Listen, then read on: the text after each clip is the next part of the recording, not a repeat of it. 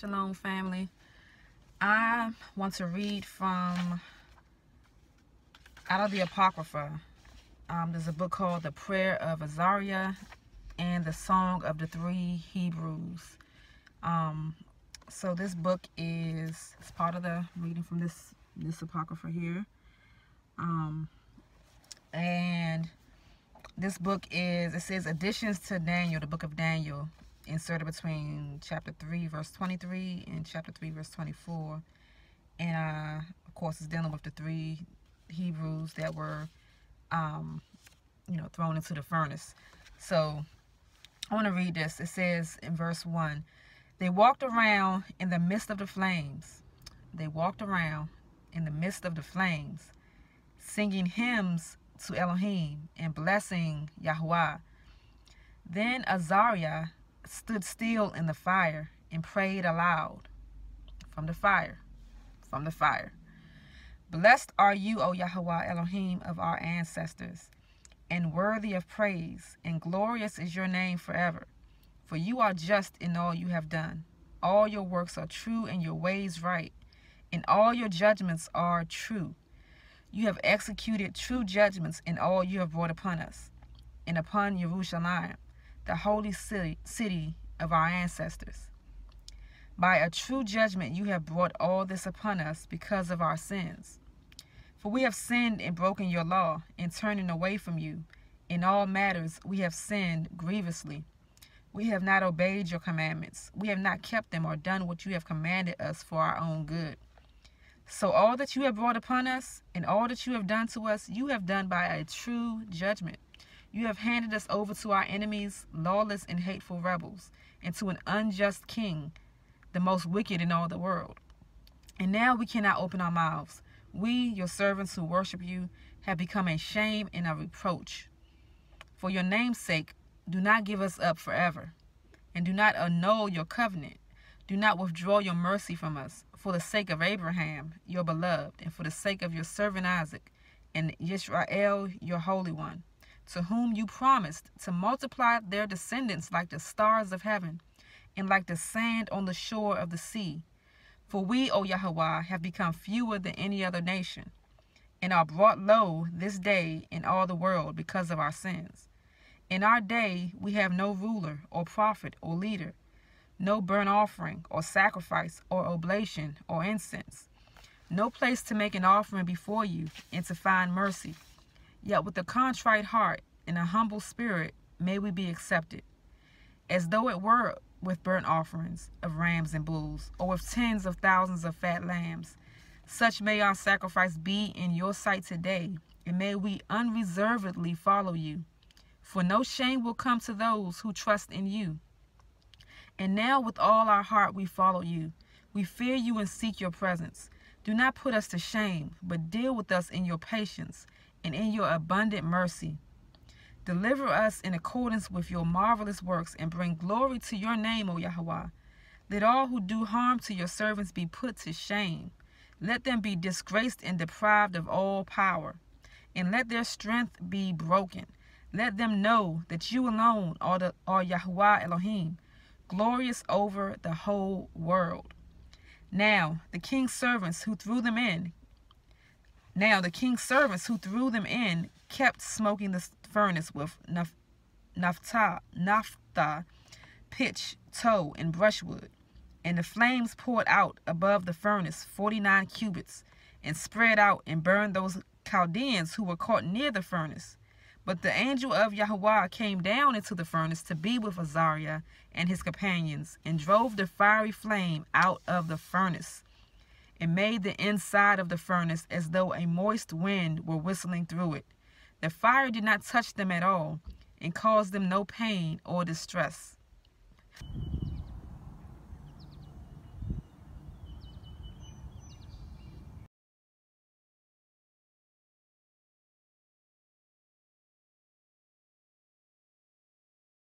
Hallelujah. So this is um and I read from verse 1 to verse 28. And so, of course, you know, most of us know the story that they are, you know, this is during the time of Babylon, and they were thrown into the furnace. And what strikes me with this is they're in the land of captivity and they've been unrighteously um, given this judgment and thrown into the, the fiery furnace, right? And so while they're in there, they're praying to the Most High. So we just hear, you know, when we read in the scriptures, we just see that the Most High delivered them out of there. But this this goes into detail how what their attitude and mindset was. What were they saying to the Most High? What was their prayer to the Most High? Um, you know, a lot of times when we're going through things, we just we're just like, y'all help me. you know, just we we're just thinking about ourselves. But while they were in the furnace, while they were receiving this unrighteous judgment from uh from the from the rulership there in Babylon, despite the fact that that that that um judgment was unrighteous from man, from the from this place, they're pro proclaiming that the only reason that they're in this situation in the first place was because of their unrighteousness to Yahweh. So even though they were not acting unrighteously um, to deserve what they were receiving at the hands of man, they realized that the only reason that they were in this position in the first place was because them and their ancestors had, had acted unrighteously towards the laws of the most high. So what they're so what they're crying out to while they're in in this place of judgment crying out for the most high they're confessing the truth to the most high. They're confessing that yeah you are righteous in your judgment towards us and we deserve you know because of us because of our ancestors we deserve you know uh to be in this place because we know that judgment comes from you and not from from man you know? So so they cried out confessing the truth confessing confessing that the most high's judgments were were correct confessing that their ancestors and themselves had, had, had not done right before the Most High, confessing these things, but their their it was their attitude towards the Most High, It was their disposition towards the Most High, despite their their focus was not on, you know, they they they acknowledged these the, their enemies were were were uh, lawless and, and hateful, and they were under an unjust rulership. However, they did not put their focus on that that's not where their focus was. Their focus wasn't on this unrighteous uh, system, this unrighteous king. You know, their focus was on the Most High and His covenant, and the covenant that He made with with with Abraham, with Isaac, with with with Jacob. He his focus was on the goodness of the Most High. So that's where their focus was on, and that's how they cried out to the Most High, and that's what they were speaking to the Most High while they were being afflicted in this in this place and in this furnace. And it says that as they were giving these praises to the Most High, that that the Most High heard them, and he and he sent an angel of the Most High, he sent the messenger Malachim of the Most High down into the furnace to drive out the flames. Okay, and it said even in this process that that there were other Chaldeans that were that were taken in by these flames, but they were not. They were not touched by these by these flames. So to me, this speaks of the disposition for us to have being those who are in the land of our captivity, being those who are returning to the Most High, who are acknowledging the covenant. Our attitude as we're going through these afflictions, as we're dealing with the things that we're being are being put on us by the land is going to increase in this season that we're in.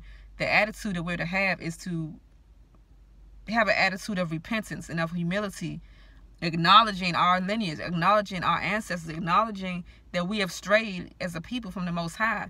Whether you have individually returned, that's that's fine. Eh, eh, whether or not we've individually returned, we as a whole people have turned from the Most High, and so have our ancestors, and that is why we are in this place of captivity, this place where we have been taken captive. That's why we are in this place. So we have to come outside of ourselves and, and acknowledge our lineage, acknowledge our history, our, ans- our ancestry, our ancestors, acknowledge our, our current state as a people, as a community, as a whole, and acknowledge ourselves and our shortcomings. So we take this, we, we take this as a whole, but then we, we, what we have to stand on is what? The covenant of the Most High, the promises of the Most High, and the goodness of the Most High.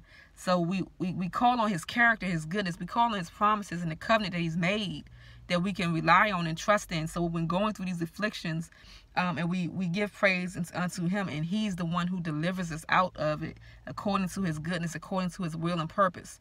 If if we shall perish in it, then it is His will and purpose at that time. If He shall deliver us out of it, it's His will and His purpose at that time. So this um, reading just blessed me. Um, when I read this, um, seeing their disposition and it reminds me of what our disposition should be in this time.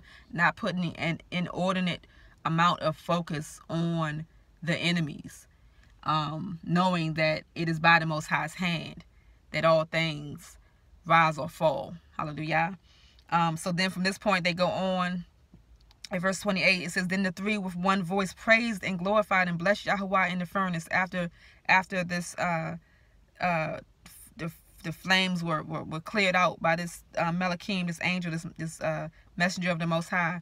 It says that they blessed It says, Blessed are you, O Yahweh, Elohim of our ancestors, and to be praised and highly exalted forever. And blessed is your glorious Kodesh holy name, and to be highly praised and highly exalted forever. Blessed are you in the temple of your holy glory, and to be extolled and highly glorified forever. Blessed are you who look into the depths from your throne on the cherubim, and to be praised and highly exalted forever. Blessed are you on the throne of your kingdom, to be extolled and highly exalted forever. Blessed are you in the firmament of heaven, and to be sung and glorified forever. Blessed Yahweh, all the works of Yahweh. Sing praise to him and highly exalt him forever. So they're giving praises unto the Most High. And they just go on and on. Bless Yahweh, you heavens. Sing praise to him and highly exalt him forever. Bless Yahweh, you, you angels of the Lord, of, of Yahweh. Sing praise to him and highly exalt him forever. Bless Yahweh, all the all you waters above the heavens. Sing praise to him and highly exalt him forever. Bless Yahweh, all you powers of Yahweh. Sing praise to him and highly exalt him forever. It goes on and on to every element. to bless Yahweh, the sun and the moon, the stars of heaven, all the rain and dew, the winds, the fire and heat, winter, cold, and summer highly exalt him forever. The dews and the falling snow, night and day, light and darkness, ice and cold, frost and snow, lightnings and clouds. Let uh, sing praise to Yahweh and highly exalt him forever. Let the earth bless Yahweh. Let it sing praise to him and highly exalt him forever. And they go on and on. The mountains and the hills, uh, all that grows in the ground, the sea, the river, all the, all the faithful things, all the things that faithfully always uh, uh, exalt Yahweh and and give him his, his praise and, and obedience and and and beauty and and function of what Yahweh has created. He's they're, they're singing this to all the all of the elements of the Most High, all the creation of the Most High, which is which includes us. It says the the animals, the the birds of the air, the whales, all the people on earth sing praise to Him and exalt Him forever. It says, "Bless, O Yahweh, O Yisrael, sing praise to Him and highly exalt Him forever." priest, you priest of Yahweh, servants of Yahweh, spirits and souls of the righteous, you who are holy and humble in heart, sing praise to him and exalt him, highly exalt him forever. Bless Yahweh Hananiah, Azariah, Mishael, which is them, the three, um, the three, it says, sing praise to him and highly exalt him forever. For he has rescued us from Hades and saved us from the power of death and delivered us from the midst of the burning fiery furnace. From the midst of the fire he has delivered us. Give thanks to Yahweh, for he is good, for his mercy endures forever. All who worship Yahweh, bless the Elohim of Elohims. Sing praise to him and give thanks to him, for his mercy endures forever. Hallelujah, hallelujah, hallelujah. Another reading that I encourage, the prayer of Azariah and the song of the three Hebrews out of the Apocrypha. Another one of the uh, books it has writings, Hebrew writings, a lot from the time of um, the Babylonian captivity. Hebrew writings that are um, that were originally in the King James 1611 version of the scriptures that was taken out. Um, that is very significant for us as a people. So check it out. I pray that you were blessed um, by this reading. Hallelujah.